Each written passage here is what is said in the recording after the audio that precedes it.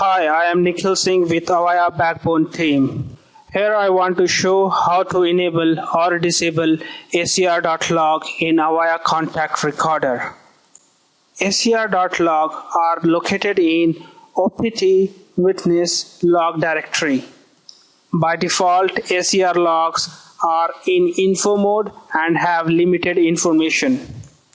Avaya or Verint require log in debug mode for analysis. Debug mode can be enabled on permanent basis where log label will remain in debug mode even after restart of CSM service. Mm-hmm. Whereas in temporary basis, log label turns in info mode after restart of CSM service. Temporary enablement of uh, debug mode may be done from web page or with command on Linux cell prompt. Let's start with process of temporarily enablement of debug mode with command on Linux. Log into command line interface of Linux. Go to opt witness bin directory. Execute command perl space log level dot pl space debug. Debug should be in caps. Then press enter. Now we get confirmation that log label changed to debug. Once the issue is reproduced or activity is completed we have to turn the log label back to info mode. For that we have to go to opt witness bin directory again execute the command perl space log level dot pl space info. Info should be in caps. Then press enter.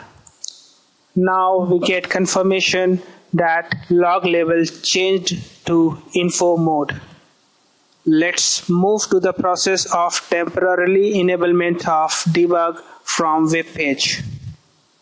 Open Internet Explorer, type http colon forward slash forward slash then put in the IP address or host name of ACR.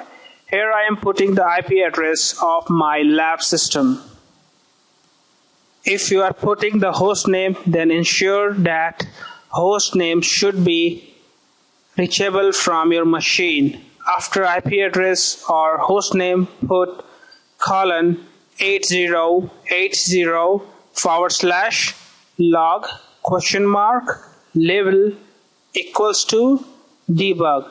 Debug should be in caps then press enter or click on arrow button right to the URL. Now we get confirmation that log label changed to debug mode. Once the issue is reproduced or activity is completed, we have to turn the log label back to info mode. Open Internet Explorer, type http colon forward slash forward slash IP address or host name of ACR colon 8080 forward slash log question mark level equals to info. Info should be in caps. Then press enter or click on arrow button to the right of url now we get confirmation that log level changed to info mode let's move to the process of permanent enablement of debug mode this process is service impacting as it requires the restart of CSM service. Log into command line interface of Linux, then go to opt witness properties directory. Check the content of acr.properties file. After checking the content of acr.properties file, add log label equals to debug in acr.properties file.